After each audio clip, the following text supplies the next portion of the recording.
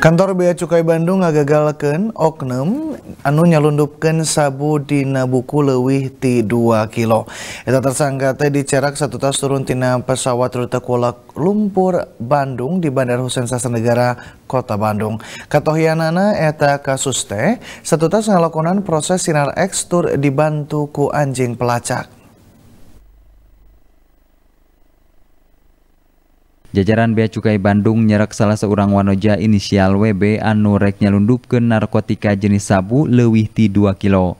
Dumasar kena keterangan Kepala Kantor Wilayah Bea dan Cukai Provinsi Jawa Barat, pelaku WB nyumputkeun sabu di jero buku kalawan make aluminium foil. Eta narkotika golongan sabu teh dibawa ti Nigeria anu mangrupa jaringan Perancis. Eta tersangka anu warga Jawa Barat salaku ibu rumah tangga teh dicerek nalika turun tina pesawat Malindo Air rute Kuala Lumpur Bandung di Bandara Husein Sastra Negara Kota Bandung. Kaguarna eta pasualan teh satu tas ngalakonan hasil pemeriksaan sinar ek anu dibantuan ku anjing pelacak anu ngambe atau K9 milik Polda Jawa Barat. Satu tas diperiksa lebih gemet di jero lipetan eta buku TK panggi bungkusan aluminium foil anu horeng esina sabu 2085 gram atau leuwih ti 2 kilo. Tina eta kejadian teh bea cukai di erong geus nyalametkeun 15.000 nyawa manusia tina bahaya sumebarna narkotika. Isi kemasan aluminium foil yang isinya adalah uh, metafetamin atau sabu dengan jumlah total uh, 2,085 gram 2 kg 85 gram.